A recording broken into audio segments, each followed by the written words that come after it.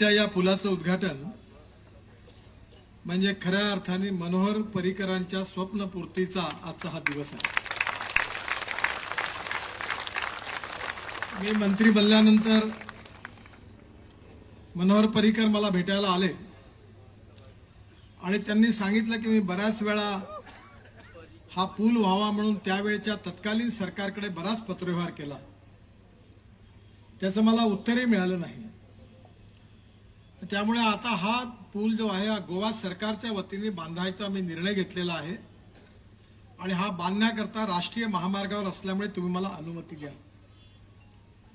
मी त्यावेळी त्यांना असं म्हटलं की आता मी मंत्री झालेलो मी याला निधी देईल तर त्यांनी सांगितलं की नाही मी ऑलरेडी हे जाहीर केलं आणि मी निर्णय घेतलेला आहे. तुम्ही मला परवानगी द्या. त्यावेळी सुदीन ढवळीकरही त्यांच्याबरोबर होते. आणि मी लगेच या पुलाकरता परवानगी दिली. त्यानंतर त्यांनी गोवा इन्फ्रास्ट्रक्चर डेव्हलपमेंट कॉर्पोरेशन जी आहे त्यांना हे काम दिलं. एल एन टीचं कॉन्ट्रॅक्ट निश्चित झालं.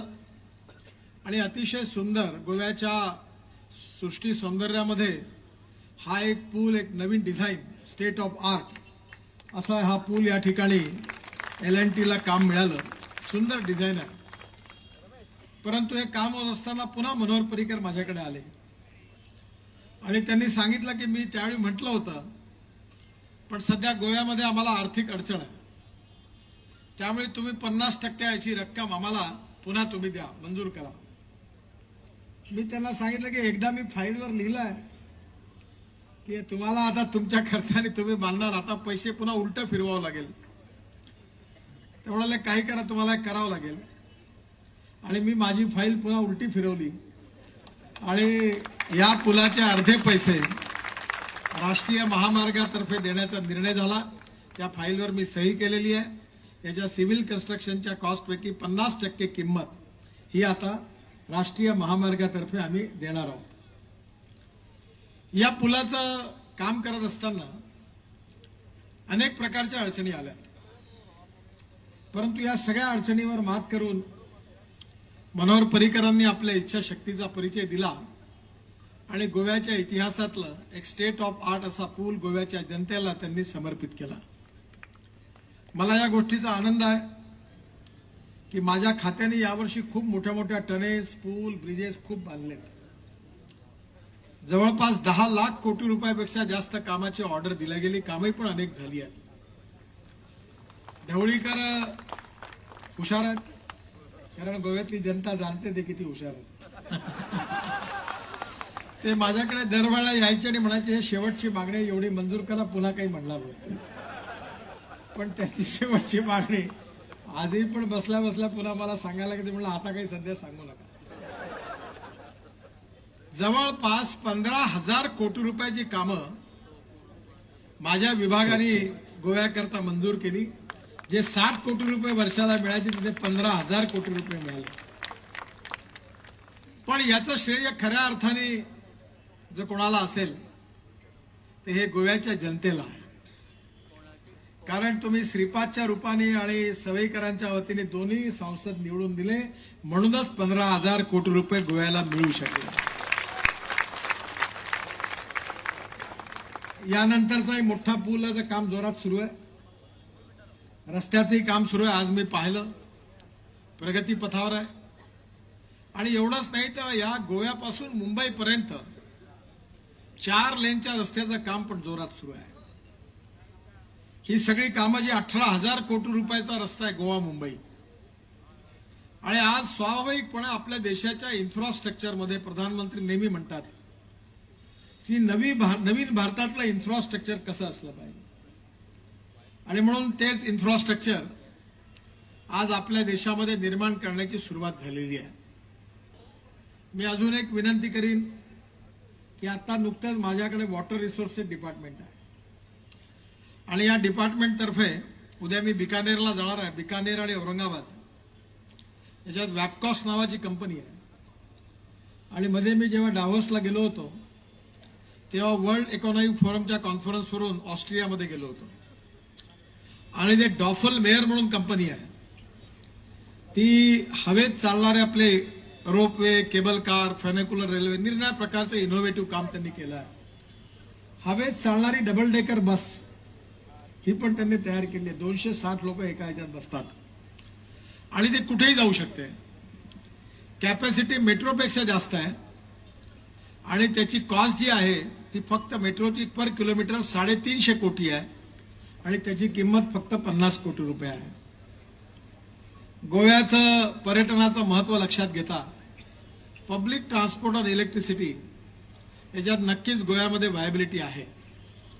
आणि त्याचबरोबर गोव्याच्या येणाऱ्या जगातून येणारे टुरिस्ट त्यामुळे श्रीपादजी आणि मनोहर परिकर आणि आमचे सांसद यांच्या सततच्या प्रयत्नामुळे गोव्याच्या नवीन इंटरनॅशनल एअरपोर्टचंही काम सुरू झालेलं आहे. त्या पोर्ट एअरपोर्टला जोडणारा आठ किलोमीटर रस्ता देखील त्यांनी मला बनवण्याकरिता सांगितला. तो पण मी करून देणार आहे. पण त्याचवेळी माझ्या मनात ती इच्छा होती की जसं व्हेनिसमध्ये आहे की पाण्यावरून डायरेक्ट आपण एअरपोर्टला पोहोचतो तशी व्यवस्था गोव्यात झाली पाहिजे. परंतु गोव्यातला वॉटर ट्रान्सपोर्ट काही पुढे जात नाही. मी बराच प्रयत्न करून थकलो आणि आता मी हा प्रयत्न करण्याचं सोडून दिलाय असं मला दुःखाने सांगावं वाटतं. कारण या संदर्भातल्या परवानग्या इतर ठिकाणी आता गंगेत देखील सगळं सुरू झालं. वॉटर ट्रान्सपोर्ट हे जास्त सोयीचं आहे. आणि त्याच्यामुळे प्रदूषण पण कमी होणार आहे. आणि या बाबतीत जर इन्व्हायरमेंट आणि अन्य सगळ्यांनी सहकार्य केलं तर होईल आणि मी मांडवी आणि जुवारी नदीमध्ये ड्रेझिंग करण्याकरता देखील पैसा मंजूर केला आहे. जेटीस पण मंजूर केलेले आहे.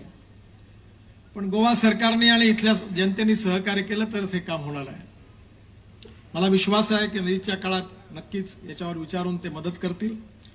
आणि अतिशय आनंद आहे की हा एक ऐतिहासिक स्टेट ऑफ आर्ट गोव्याचा अभिमान वाढणारा असा पूल झाला. पलीकडचा जो पूल आहे त्याच्यावर आम्ही टावर बांधणार आहे दोन कॅप्सूल लिफ्ट लावणार आहे. मनोहर पर्रिकरांनी मला सांगितलं की पुलाच्या खाली रोड साईड एम्युनिटीज आहेत गार्डन आहे. बोटीनी पुलाच्यापर्यंत जाता येईल. आणि जगातले येणारे टुरिस्ट जे आहेत ते गोवा बघत असताना बीचवर जात असताना या सगळ्या गोष्टीचा देखील नक्कीच आनंद घेतील. आणि जगामध्ये गोव्याचं नाव होईल आणि या सगळ्यामुळे गोव्याच्या सौंदर्यात भर पडेल असा मला विश्वास आहे. गोव्याच्या विकासामध्ये मनोहर पर्रिकरांचा सिंहाचा वाटा आहे. सतत गोव्याचे मुख्यमंत्री असताना आणि संरक्षण मंत्री असतानाही सातत्याने गोव्याचे प्रश्न कसे सुटतील गोव्याचा विकास कसा होईल याचाच ध्यास त्यांना होता. आणि त्यामुळे त्यांनी प्रत्येक कामाकरता सातत्याने प्रयत्न केले. अजूनही गोव्याच्या अनेक प्रश्नांबद्दल मला ते फोन करून सांगतात. विशेषतः मायनिंगचा प्रश्न आहे. कोर्टाने काही जटिल निर्णय जरी दिले असले तरी सातत्याने मनोहर पर्रिकरांची इच्छाशक्ती आहे. मला ते सांगतात की यातून मार्ग कसा काढला पाहिजे. गोव्यातल्या प्रत्येक प्रश्नाबद्दल अतिशय संवेदनशील आणि विकासाच्या दृष्टीतून त्यांनी काम केलं. आणि हे वैशिष्ट्य राहिलेलं आहे की टाइम बाउंड कामं करण्याचाही त्यांनी सातत्याने प्रयत्न केला. क्वालिटीशी कॉम्प्रोमाइज नाही केलं. Fast track decision making process ठेवली. आणि करप्शन फ्री प्रशासन त्यांनी गोव्याला दिलं याचा मला खूप आनंद आहे. आणि म्हणूनच आज त्यांनी जेव्हा मला फोन केला तेव्हा मी आज मुंबईमध्ये होतो. पण मी त्याला सांगितलं की तुम्ही सांगा मी नक्की या कार्यक्रमाकरता येईल. मला अतिशय आनंद आला की मनोहर पर्रिकरांच्या हाताने आज याचं उद्घाटन झालं आणि आपल्या सगळ्यांना त्यांची स्वप्नपूर्ती आपल्या सगळ्यांची स्वप्नपूर्ती या निमित्ताने झाली. मी मनोहर पर्रिकरांना सगळ्या आमदारांना मंत्रिमंडळाला सुदीन ढवळीकरांना सगळ्या अधिकाऱ्यांना आणि गोव्याच्या जनतेला मनापासून शुभेच्छा देतो.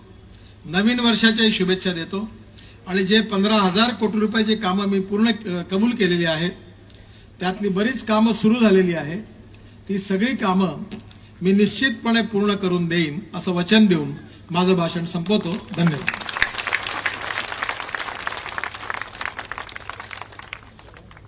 मनपूर्वक धन्यवाद. आदरणीय श्री नितीन गडकरीजी या भाषणाबद्दल.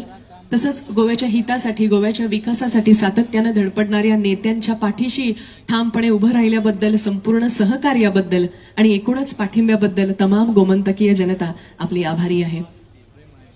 उपरांत सगळ्यांच्या वतीन माये मोगाच्या मागण्या मागता. भवानीस्थ मुखेलमंत्र्या लागी भाई तुमची उतरा ऐकूक सगळ्यांच्या कान आणि मन आशेल्या. भोमानेस्त मुखेलमंत्री मनोहर भाई पर्रीकर.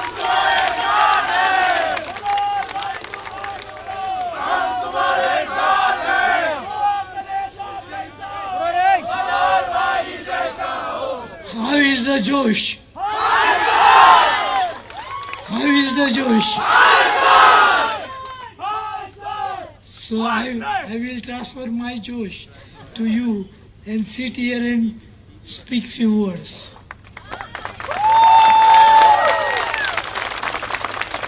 मुख्यमंत्री जालो गोंयचो पयले येपा तेन्ना म्हज्या दोळ्या समोर एक वाक्य आशिल्लें जॉन एफ़ कैनेडी चे America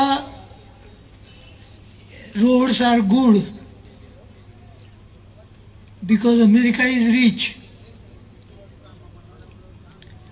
but American roads are good because roads America is rich because roads are good ये वाक्य मज़े तकलेर लहानपणापासून उमटलेले. आमच्या गोंयची परिस्थिती म्हाका याद जाता हांव पोन्न्या म्हणजे हो आतां नवो त्या सकयलो उजव्या हाताचो पोन्नो. दाव्या हाताचो ताज्या पेक्षा पोन्नो. ताज्या पेक्षा पोन्नो पूल पळय कोसळ्ळा पंदरा मिनटां हांव पयलीं ताजे वयल्यान गेलां. आनी दुर्दैव आमचें अशें की आमी डेव्हलपमेंट आमच्या हातान नाशिल्लें राज्य ल्हान खर्च खूब नितीनजीन सांगले अशें डेव्हलपमेंटाक जवळ जवळ